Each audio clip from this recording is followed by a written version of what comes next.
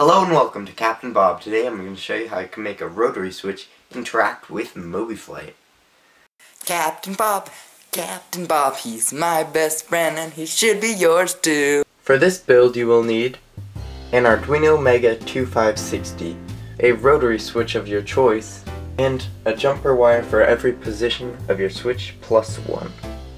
A rotary switch almost always has pins like this on the bottom. Typically there's one pin on the outside for each position of the switch. And then one terminal in the middle for the common. Then sometimes they repeat it on the other side. This would be a 5 position switch. When you're wiring this to the Arduino, you want these to be the input pins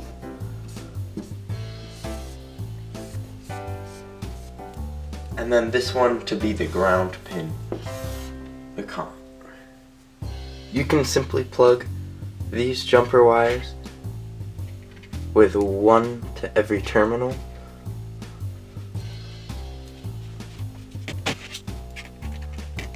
Then you can have one jumper wire go to this pin right here, the ground pin. Now you can wire these pins into the Arduino here. We are going to use pins 2 through 6. Now the common pin just goes to ground. Now that we're done with the wiring, we can move over to MobiFlight. So now we are in MobiFlight and we can go to Extras, Settings, and then into the MobiFlight Modules tab. Click your Arduino Mega and then add five devices. Each of them are going to be buttons. So that's five, and then upload them. Okay, so now you can exit and go into the Inputs tab, and then make your five positions, or how many you have in a switch.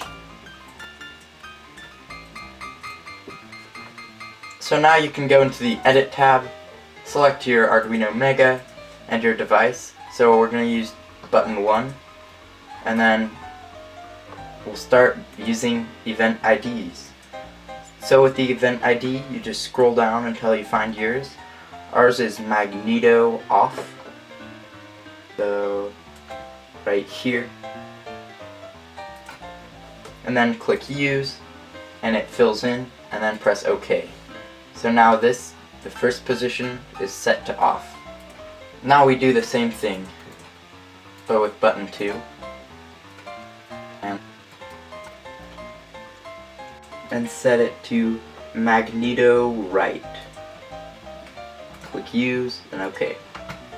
So you're going to want to do the same thing with the third switch position, except for this time I'm going to show you another way to do it, with FSUIPC offsets.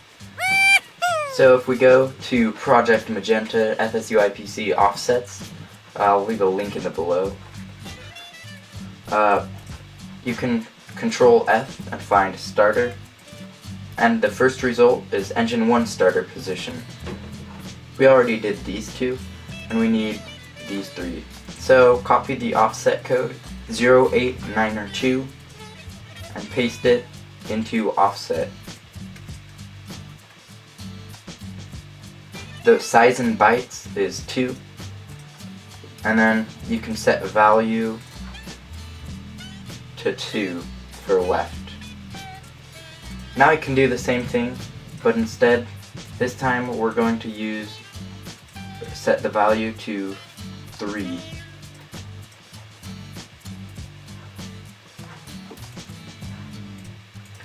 and now we're going to set the value to 4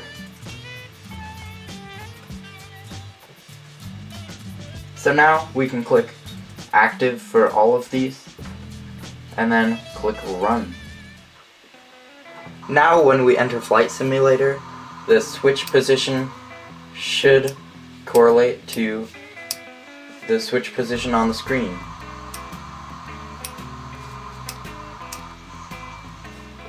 And it does.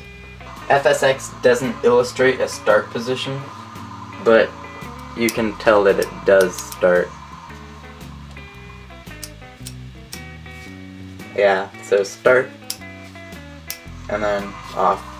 So you're gonna have to design a spring to spring to both mechanism. So now that you know how to make a 5 position switch, you can head over to some of my other videos like how to make a whiskey compass and a switch panel. See you in the next video and have a fantabulous day.